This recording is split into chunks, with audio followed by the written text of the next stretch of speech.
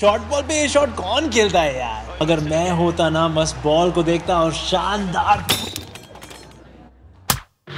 खुद को एक्सपर्ट समझते हो तो खेलो प्लेयर स्पॉट पर लोएस्ट एंट्री फ़ी में। इस गेम में फाइनेंशियल रिस्क है और लत लग सकती है कृपया जिम्मेदारी से खेलें और अपनी रिस्क पे खेलें I do feel good for the rest. Um, I've obviously spent a long time in in the bubbles and, and over the past uh, year or so since the, the pandemic started. Um, I think it's been important for not just myself, the other guys to to be able to get in and out of the bubbles to look after people. So uh, feeling good, really looking forward to, to what's going to be um, a great T20 series um, against a top side in their own conditions.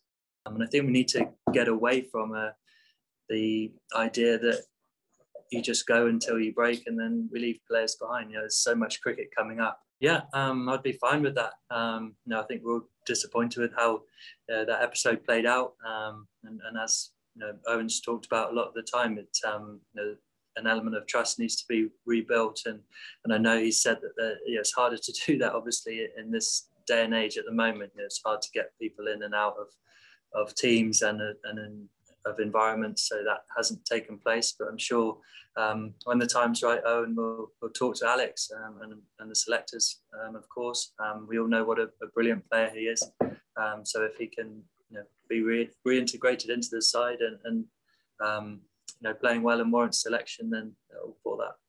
Sports से जुड़ी किसी भी update के लिए sports तक को subscribe करें और हमारे फेसबुक और इंस्टाग्राम पेज को भी जरूर फॉलो करें